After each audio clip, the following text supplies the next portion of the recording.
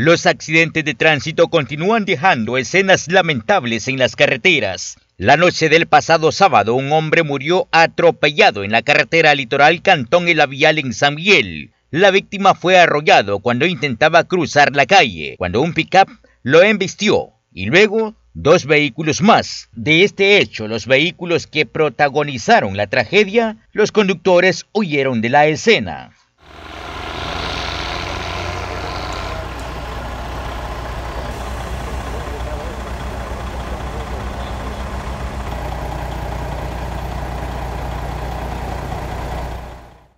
Los percances viales continuaron cobrando vidas, esta vez en el departamento de la Unión, en el municipio de Pasaquina, sobre la carretera panamericana. Un motociclista que resultó lesionado murió cuando era llevado a un centro asistencial. Caserío El Picacho,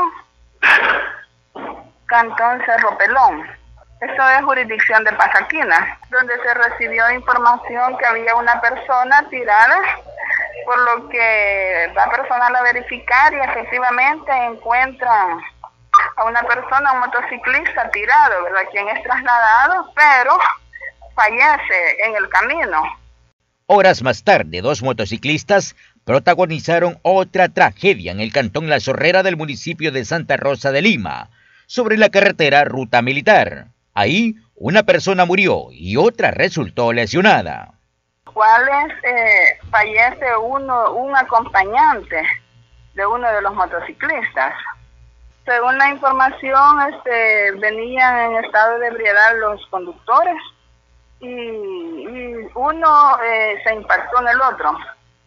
¿Iban en sentidos opuestos o en el mismo sentido? No, iban en el mismo sentido. Entonces el, el, el conductor de la moto donde el acompañante fallece, huyó del lugar a pie. La policía dijo que la imprudencia al conducir bajo los efectos del alcohol y la excesiva velocidad provocaron esta tragedia. El conductor de la otra motocicleta, este, él fue trasladado bastante delicado de salud al hospital de Santa Rosa de Lima. ¿Será que iban haciendo algún tipo de competencias o carrera? Es probable, es probable, no, no tengo mayores detalles, pero sí que, que iban en aparente estado de ebriedad. La Policía Nacional Civil hace el llamado a los conductores tanto motociclistas como de vehículos manejar con precaución a fin de evitar seguir aumentando las estadísticas de muertes por accidentes de tránsito. Con imágenes de Pedro Guardado, Fidel Hernández, Noticiero TVM.